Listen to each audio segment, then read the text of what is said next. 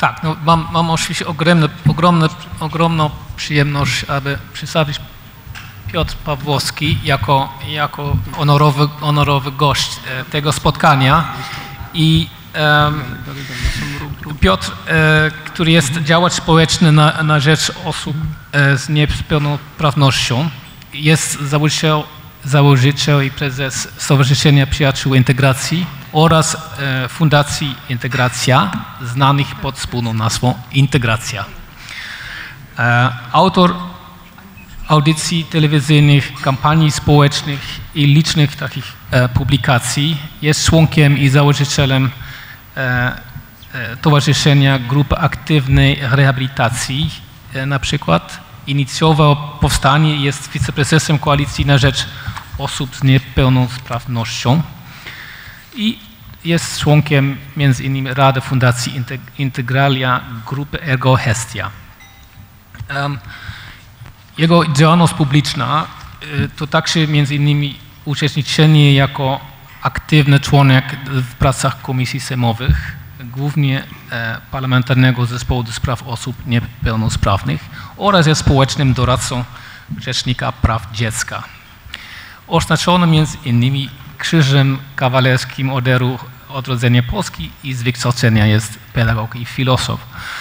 E, to jest super słowa. Poza tym ja miałem przyjemność, aby współpracować z Piotrem teraz już dwa lata i, i ta przyjemność, e, mam nadzieję, e, dalej będzie. Prezentacja będzie, jak, jak się nie mylę, Piotr, być w dwóch częściach. Pierwsza część o integracji i, i co, co się dzieje w tej fundacji, jak Piotr działa tam, a druga część to jest ta część, którą ja też z Piotrem pracowałem jest ta część komercyjna tego tej, e, i, i, i podejście, fundacja albo cała integracja do, do, e, do, do, do tej części komercyjnej, jak wspierać e, cele fundacji z, z działalnością komercyjną. Dam głos Piotrowi. Dzień dobry, witam Państwa i bardzo dziękuję za, za zaproszenie i za to przemija wprowadzenie przez Kaja. Mam nadzieję, że to nie jest tak, że współpracowaliśmy, ale jak najbardziej będziemy dalej współpracować, biorąc pod uwagę, jak wielkie wyzwania przed nami. Ja chciałem dzisiaj się z Państwem podzielić trochę wątkiem osobistym, czego raczej nie robię, ale, e, ale zostałem poproszony, żeby powiedzieć trochę o swoim życiu, które które nie było łatwe, nie było proste, e, ale wydaje mi się, że wydaje mi się, że udało się sprostać wielu wymaganiom i też postawić pewne wyzwania i je próbować realizować. O tym chciałbym w tym krótkim naszym spotkaniu opowiedzieć, ale też Państwa zachęcić do tego, abyście otworzyli może trochę jeszcze szerzej oczy na to, co dzieje się dookoła, ale nie myślę pod kątem tego, czym nas karmią media w przypadku niepełnosprawności, kiedy otrzymujemy przekaz jedynie i wyłącznie związany bólem, płaczem, charytatywnością, zbieraniem pieniędzy. Ja chciałbym Państwu pokazać, że jest troszkę inny obszar mówienia o niepełnosprawności, który dokładnie wpisuje się w to, co dzieje się w naszym życiu, w naszym kraju biorąc pod uwagę to też, gdzie jesteśmy i co się udało osiągnąć. Zaczynam w takim razie od wątku osobistego, od tego, co się ze mną działo 32 lata temu. Otóż te 32 lata temu ja zupełnie zmieniłem kierunek swojego życia, bo będąc dobrze zapowiadającym się koszykarzem, okazało się, że jeden niefortunny, nie wiem, mógłbym powiedzieć głupi i zwariowany, jak ktoś mnie pytał, czy robiłem to w pełni świadomości, to pewnie bym powiedział, no tak, skoczyłem do tej wody, będąc w pełni świadomym, a że woda była za płytka i złamałem kręgosłup. I w momencie, kiedy znalazłem się w szpitalu i lekarz mi powiedział, wiesz co Piotr, sorry, ale resztę życia trzeba przejechać na wózku, bo medycyna na chwilę obecną jest bezradna. I dla mnie, dla chłopaka w pełni sprawnego, mającego trochę pewną wizję życia zupełnie inaczej, E, e, funkcjonującą i zupełnie inaczej e, skonstruowaną, myśląc o mojej sprawności fizycznej. W którymś momencie okazało się, że trafiam do domu i z tej mojej aktywności, z tej mojej samodzielności w zasadzie nic nie wychodzi, bo w podstawowych czynnościach dnia codziennego, czyli wstanie z łóżka, napicie się herbaty, kawy, wyjście z domu, raptem okazuje się, że potrzebny jest ktoś. Czyli to, co było dostępne w zasięgu ręki, w ułamku sekundy straciłem. I to było, myślę, o tyle dla mnie e, skomplikowane, żeby przestawić na zupełnie inne tory. To znaczy, jak zaakceptować życie pomimo, pomimo tak dużej niesprawności. I wtedy pojawił się zwariowany pomysł, szukać możliwości. Szukać możliwości, czyli to, co zostało mi. Została w zasadzie jedynie ręka, którą ledwo co mogę poruszać, ale okazuje się, że trzeba było szukać tych możliwości, bo jestem optymistą w życiu. I biorąc pod uwagę, że ten optymizm mnie ratuje i pozwala na to, żeby e, sprawnie funkcjonować, to okazało się, że mogę malować. Mogę malować, czyli mogę sprzedawać swoje obrazy. I miałem na, naprawdę dobry okres w swoim życiu, kiedy te prace nieźle się sprzedawały. Mało tego, mogłem nawet w Muzeum Narodowym wystawiać swoje prace, czego mm, jak rozmawiałem z dyrektorem Muzeum Narodowego o wystawie artystów malujących ustami i nogami, to dyrektor powiedział, wiesz co Piotr, ale w muzeum w zasadzie wystawiają artyści, którzy już nie żyją, czyli w zasadzie nie tyle, że oni wystawiają, co, co ich prace są wystawiane przez tych, którzy opiekują się tymi pracami. Wy jeszcze żyjecie. I okazuje się, że wystawa była takim hitem, że przebił nas tylko wtedy Andy Warhol, bo z gromadził ponad 100-tysięczną widownię. Wystawa między innymi moich, moich prac też e, do, doprowadziła do tego, że przy 80 tysięcy osób i dyrektor Muzeum Narodowego ówczesny wspomniał, naprawdę nieźle na tym zarobiliśmy. To jest pewnego rodzaju pomysł, który sprawił, że ja się zacząłem też e, odradzać i myślę, że ten element ekonomiczny towarzyszył cały czas mojemu, mojemu życiu, ale doprowadziło to też do tego, że w pewnym momencie trzeba zastanowić się, co zrobić dalej. Nie tylko ja, nie tylko moje malowanie, ale dla mnie też istotny był zwrot związany z moim, z moim życiem rodzinnym, z moją żoną Ewą, bo to był też e, przełom, jeśli chodzi o moje dalsze funkcjonowanie, ale myślę też spotkanie innej Ewy i wielu przyjaciół Ewy Konczal i przyjaciół Zaszoki, którzy pokazali, że można zrobić coś innego, ale zrobić coś innego E, w otoczeniu, które nie jest proste, bo atmosfera, społeczeństwo, jeśli chodzi o niepełnosprawność, wydaje mi się, że nie jest prosta, jeśli chodzi o, o aktywność. Ale zobaczcie króciutki film, który pokazuje, w jakich czasach i w jakich realiach ja wtedy byłem. Rano. Jestem taki jak ty. Budzę się, wstaję i wychodzę. A potem już nie jestem taki jak ty. Potem już patrzysz na mnie. Potem już się litujesz. Widziała pani, Widziała tego, pani chłopca? tego chłopca? O jakiż ty biedny No jesteś. nieszczęśliwy, no nieszczęśliwy chłopak. chłopak. Czy jestem kimś innym? Ciągle mi mówisz, że jestem. Na wózku? O jest. Nie ma szansy. Sam, sam, sam.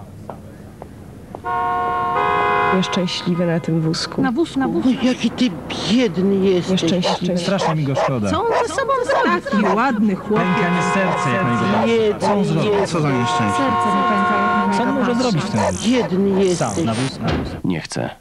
Nie lituj się nade mną. Nie pytaj, co mi się stało. Nie jestem gorszy. Nie jestem też lepszy. Czy naprawdę jesteśmy inni? Kiedy pojawiłem się któregoś razu z moją żoną w supermarkecie, podjeżdża do mnie taki brzdąc czterolatek na swoim rowerku. To było całkiem niedawno.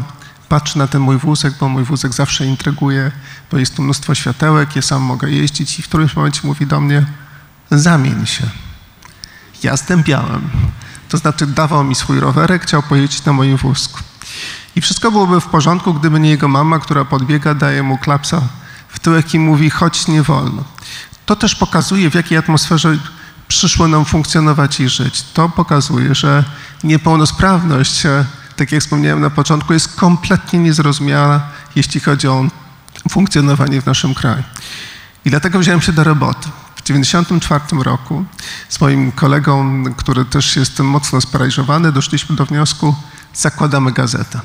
Zakładamy gazetę, ale to e, gazeta, która doprowadziła do tego, że chcemy stworzyć coś niesamowitego. I to pokazało, że na początku wolontariat, a później działania związane z zespołem, który doprowadził do tego, że jesteśmy w zupełnie innym miejscu.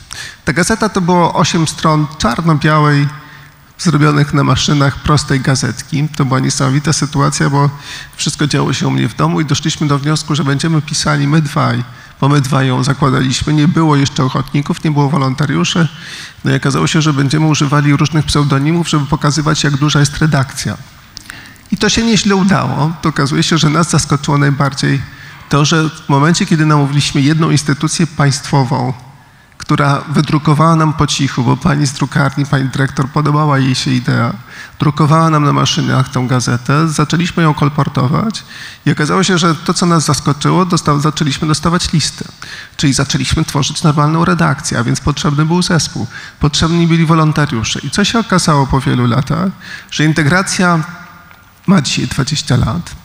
E, Integracja jest największą gazetą, jeśli chodzi o e, Polskę i nasze funkcjonowanie i rozumienie niepełnosprawności. Obok tego doszliśmy do wniosku, że trzeba stworzyć całą taką dobrą platformę informacyjną, bo okazuje się, że nie mamy wiedzy, jak funkcjonować, nie mamy wiedzy, jak radzić sobie z niepełnosprawnością, nie wiemy, co zrobić w przypadku, kiedy łamiemy nogę, łamiemy kręgosłup, tracimy sprawność i stworzyliśmy do tego program telewizyjny, który w telewizji regionalnej teraz będzie funkcjonował, duży serwis internetowy, do tego wszystkiego infolinie i tak dalej, i tak dalej. I to jest pewnego rodzaju działanie, które pokazuje, zrobiliśmy dobrze, dobrą informację, która przekazuje to, co związane jest z niepełnosprawnością, czyli w momencie, kiedy pomysł pojawił się na gazetkę, zaprosiliśmy przyjaciół do tego, żeby ta gazeta stała się profesjonalną gazetą, jeśli chodzi o dalsze funkcjonowanie. To, co pewnie związane jest z dalszą działalnością, to powstają serwisy tematyczne, które pokazują, dostarczają informacji, czyli to pokazuje jak gdyby, jak ogromna jest potrzeba i niewiedza, jeśli chodzi o nasze środowisko i te serwisy ułatwiają funkcjonowanie wielu osobom, które pomimo tego, że ta niepełnosprawność jest trudnym tematem, pomagają, pomagają mi łatwiej zrozumieć. Ale pojawiają się też związane kwestie z aktywizacją zawodową. Jestem osobą, która w momencie, kiedy pojawiła się u lekarza orzecznika po wypadku, dostałem informację, żadna praca. Na chwilę obecną jestem szefem 60 osób, bo tyle integracja zatrudnia. Jestem pracodawcą. Dostałem od lekarza żadna praca. Okazuje się, że w naszym kraju, nie wiem, nie wiem czy Państwo wiecie, ile jest osób z niepełnosprawnością. Jest około 5 milionów. Tych, którzy mogą pracować, bo nie wszyscy mogą pracować, jest około połowa, około 2,5 miliona. Pracuje zaledwie pół miliona, czyli 500 tysięcy. Dwa miliony osób siedzi w domu i żyje z rent. Jeśli żyją z renty, to żyją z naszych pieniędzy, bo my musimy za to wszystko zapłacić. W Wielkiej Brytanii ostatnio David Cameron powiedział, nie stać nas na niezatrudnianie tych, którzy e, mogą pracować, czyli myślał o osobach z różnymi niepełnosprawnościami. Podjął decyzję radykalną. Osoby, które po przeszkoleniu, przygotowaniu trzykrotnie zrezygnują z pracy, stracą świadczenia. W Polsce pozwalamy na to, żeby ta dwumilionowa grupa osób nie pracowała. ZUS rocznie wydaje około 30 miliardów złotych na świadczenia dla tej niepracującej grupy. Około 200 milionów złotych wydajemy na dostarczanie e, rent e, do osób, które nie pracują. Koszty są niewiarygodne. W momencie, kiedy zaczęliśmy się za to brać, to znaczy tworząc centra integracja, to okazało się, że dogadywanie dwóch stron, czyli pracodawców i osób z niepełnosprawnością, wydaje się banalnie proste. Potrzebny jest partner. Ale okazało się w pewnym momencie, że pracodawcy są coraz bardziej otwarci, jest coraz więcej miejsc pracy, a coraz mniej chętnych. Osoby z niepełnosprawnością nie są za, zainteresowane w wielu przypadkach podjęciem pracy, boją się utraty renty. I to jest, myślę, wyzwanie, które też próbujemy realizować, jeśli chodzi o integrację. Choć są perełki, które pokazują, że osoby niewidome doskonale sobie radzą, jak na kolejnym spocie. Dzień dobry, panie Tomku. Dzień dobry. Cześć, Basia. Cześć.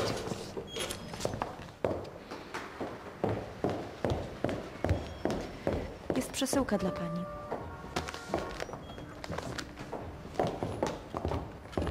Dzień dobry, szefie. Cześć, Aniu. Co dla ciebie jest bardziej niesamowite? To, że Ania poznaje ludzi po krokach? Czy to, że ma pracę? Niepełnosprawni, sprawni w pracy. Jest to autentyczny fakt z jednej z agencji reklamowej, gdzie recepcjonistka jest niewidomą dziewczyną. To nie jest tak, że osoby z niepełnosprawnością nie radzą sobie. I to jest myślę też działanie związane z integracją, zmiana świadomości. Bo oczywiście możemy mówić o likwidacji barier architektonicznych, ale zmiana w naszych głowach. Wspomniany przykład z supermarketu. Dziecko załapało w lot. Żadnych barier. Mama potrzebuje edukacji. I dlatego edukujemy i zobaczcie nas, mój ulubiony spot, który niestety nie doczekał się emisji w telewizji polskiej, żadnej telewizji, zresztą zobaczcie dlaczego. A tu mamy sypialnię.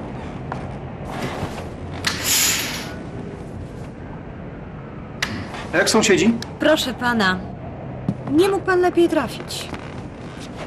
Na górze i na dole firmy, a sąsiedzi obok to głuchoniemi. Wie pan jak to jest. Cisza, spokój. Podoba mi się.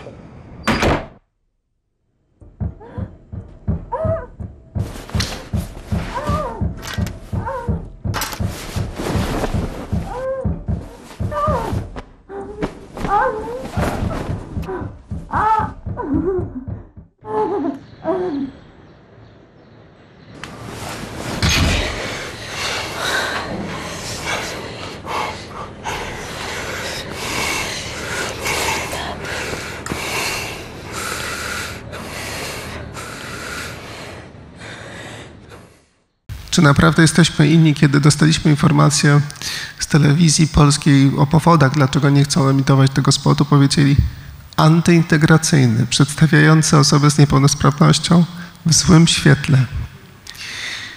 I w momencie, jak mamy ten obraz, to o czym mówiłem na początku, e, ból, cierpienie, płacz, charytatywność, to faktycznie przedstawiamy osoby z niepełnosprawnością w złym świetle. Ale z drugiej strony pokazujemy bardzo normalny świat.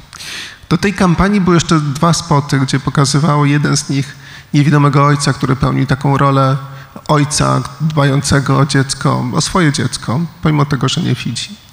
I też przedstawialiśmy osoby niesłyszące, które się kłóciły na ulicy. Chcieliśmy pokazać, że niepełnosprawni mogą być troskliwymi ojcami, ale też, że się kłócimy. I pamiętam taką sytuację, przychodzi do nas środowisko osób niesłyszących z pretensjami, dlaczego niewidomi mają tak fajny spot, a my się kłócimy. Ja na początku kompletnie nie załapałem o co chodzi, ale tak odebrało to środowisko, że jest to środowisko, które faktycznie jest postrzegane, czy jest postrzegane e, przez pryzmat właśnie kłótni. Czego oni nie chcieli? Chcieliśmy oczywiście pokazywać, że jesteśmy normalni, normalnie funkcjonujemy, zrozumieli to dopiero później. Ale myślę, że ta sytuacja pokazuje, że te dwa światy muszą się dogadać. Te dwa światy potrzebują porozumienia i myślę, że bardzo często na tym poziomie rozumienia w naszych głowach, ale są te zdarzenia związane chociażby z czystym, praktycznym funkcjonowaniem. Państwo pewnie jeździcie samochodami. Nie chcę pytać, czy komukolwiek zdarzyło się zaparkować na kopercie dla, dla, dla osób z niepełnosprawnością. Czasami pewnie się może to zdarzyć, ale niestety, jeśli Wam się to zdarzyło i zapłaciliście wysoki mandat, to integracja jest autorem tej zmiany no kilka lat temu zaczęliśmy kampanię parkingową, edukując tych, żeby wszystkich kierowców, żeby nie parkowali. Później okazało się, że ta kampania nie za wiele zmienia w naszym kraju i doszliśmy do wniosku, zmieniamy ustawę i wysokość mandatu z 50 zł do 500. Także uważajcie, drodzy Państwo. I z jednego punktu na pięć punktów karnych. Jest to dość, dość no, żadna przyjemność zaparkować na kopercie w chwili obecnej, a żeby wzmocnić ten przekaz, zobaczcie króciutki film. Love me cruel. Love me cruel, love me strong. So you can.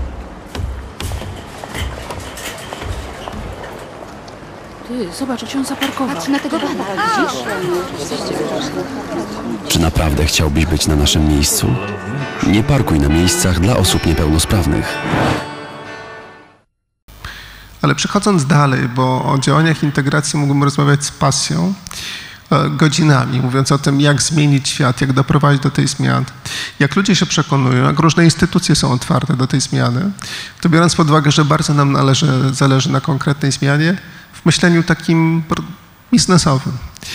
Kiedy spotkaliśmy Ewę Konczal i Ashokę, później dzięki Ewie spotkałem Kaja, później spotkałem jeszcze kilku wspaniałych osób z Psika i okazało się, że możemy doprowadzić do pewnej zmiany wspólnie.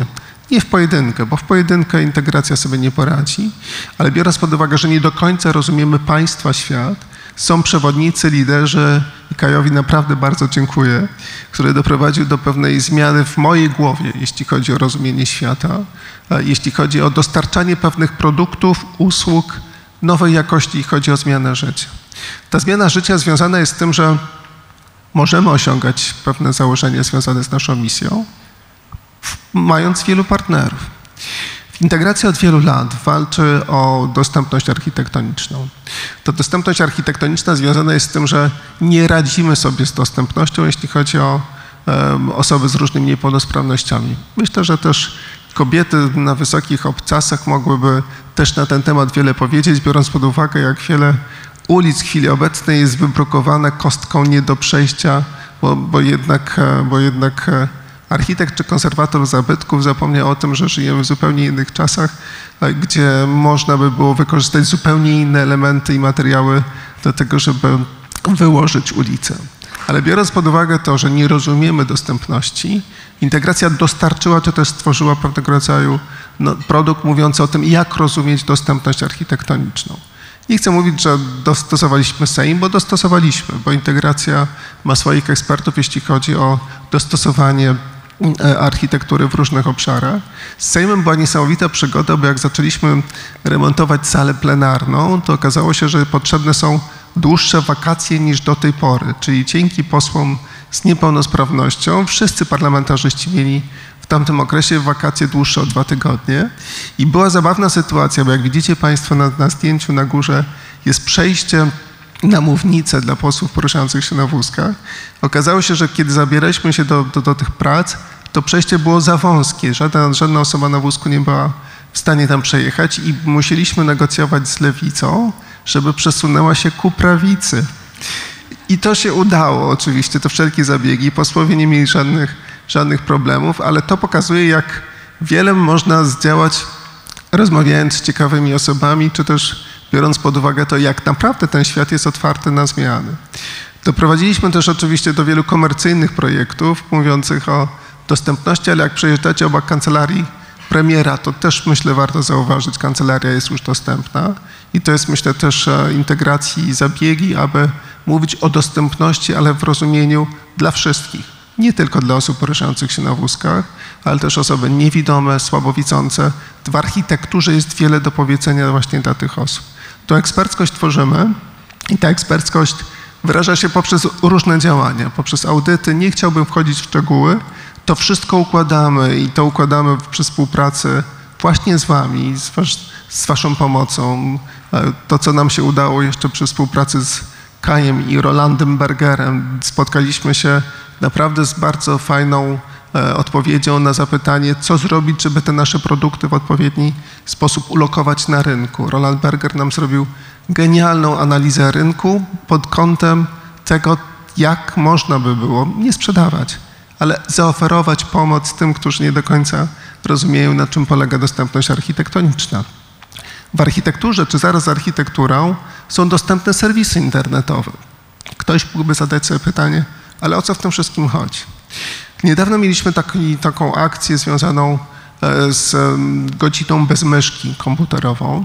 To był Światowy Dzień Dostępności Cyfrowej, i zrobiliśmy kampanię mówiącą o tym, odłączcie sobie Państwo myszkę w swoim komputerze na godzinę i zobaczycie, co można zrobić w internecie. Ja nie korzystam z myszki, bo nie jestem w stanie. Bez myszki na wielu serwisach internetowych nie zrobicie nic. To tak jak z barierami architektonicznymi. Jeśli są schody, nie ma podjazdu, nie ma windy, czy jakiegoś innego rozwiązania, nie wejdę. Jeśli nie ma dostępnego serwisu internetowego, nie wejdę.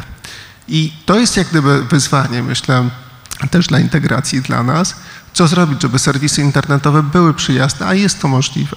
Nie tylko pod kątem osób niewidomych, ale osób niesprawnych ruchowo. Multimedia dostępne dla osób niesłyszących. O tym wszystkim zapominamy. Osoby z padaczką muszą, musimy uważać, jak przekazywać te, te, te, treści. Co zrobić w przypadku dyslektyków i tak dalej, i tak dalej. Serwis internetowy musi być dostępny dla każdego, nie może wykluczać nikogo. O tym zapominamy, o tym nie wiemy, a my to przygotowujemy i jesteśmy w stanie dla premiera wygraliśmy przetarg, żeby dostosować serwis, serwis pod kątem niepełnosprawności. To też jest nasze dzieło. Mamy też pewnie kilka komercyjnych projektów, które pokazują, bo tak, tak żyje świat i tak funkcjonuje świat. Nowe technologie dla osób z niepełnosprawnością są wyzwaniem, są szansą na to, żeby sam, samodzielnie funkcjonować. I trzeci obszar, który robimy, to są szkolenia, czyli co zrobić, żeby dostosować klientów e, pod kątem e, obsługi pasażera z, na przykład z niepełnosprawnością. Przeszkoliliśmy wszystkie stewardesy i stewardów w polskich liniach lotniczych, bo co się okazuje, nie rozumiemy często, jak funkcjonuje osoba z niepełnosprawnością.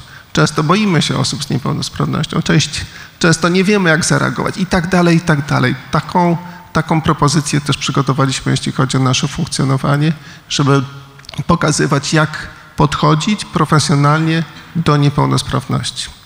Ale to, co nam się udało przez te ostatnie 20 lat z różnymi partnerami, to są między innymi partnerzy, z którymi pracujemy cały czas. I myślę, że dla nas ogromnym sukcesem było wygranie przetargu z Pocztą Polską na e, dostępność obiektów architektonicznych. Dla Poczty Polskiej opracowaliśmy cały, cały projekt dostępnej, dostępnej placówki pod kątem osób z różnymi niepełnosprawnościami. I to są, myślę, nasze sukcesy. Biorąc chociażby, jeśli mamy Siemens, to też się cieszymy tym, że nowe wagony są w pełni dostępne dla osób z różnymi niepełnosprawnościami, bo też dawaliśmy wytyczne, jak to zrobić w taki sposób, żeby nikt nie był wykluczony. Ale te 20 lat pokazuje, bo dokładnie w maju, i dlatego tym bardziej dziękuję za to, że mogę tutaj z Państwem być, w maju mija 20 lat. Znaczy w maju 1994 roku siedzieliśmy z tym moim przyjacielem, nie powiem, co piliśmy, ale doszliśmy do wniosku, że coś zrobimy z naszym życiem. Dwóch całkowicie sparaliżowanych facetów. Siedziało mnie w domu. Po dwóch latach moi rodzice powiedzieli: Piotr, nie da się tego wszystkiego, co robicie, robić w mieszkaniu, musicie coś z tym zrobić. Wyszliśmy z domu, zaprosiliśmy przyjaciół, zaprosiliśmy wiele różnych instytucji do tego, żeby być w zupełnie innym miejscu po 20 latach. I wydawałoby się, że na początku tej drogi, kiedy skoczyłem do wody, jestem na przegranej pozycji. Nie da się, ale się udało. Dziękuję bardzo.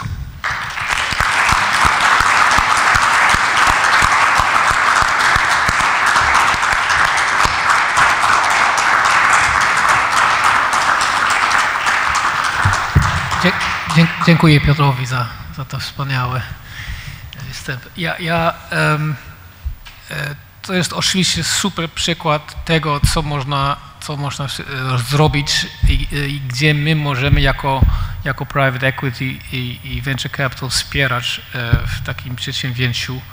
Um, najpierw macie Państwo pytania do Piotra, czy, czy macie jakieś e, może uwaga? Czy wrócić? Niegwarantowane, że są pytania. tak. E, chyba Piotr, nie ma pytań. Za, za, za jasne jest. To e, Kaj, to poproszę o jedno pytanie od ciebie, skoro już tutaj jestem. Aku... Tutaj musisz zadać pytanie, bo już spaliłem trochę akumulatorów. To ja go powiem, bo często zadaje, ktoś mi, znaczy zadane, zadawane jest pytanie, na ile mi starcza ten wózek? To, to ja zawsze odpowiadam, bo jest to wózek na akumulatory, cały dzień spokojnie mogę jeździć. I, i moja druga, dru, drugie pytanie, które najczęściej się pojawia, jak często zmieniam opony i mówię znacznie częściej niż buty, bo buty, buty, buty zawsze są jak gdyby tak wypastowane. Tak. Dziękuję raz jeszcze za spotkanie.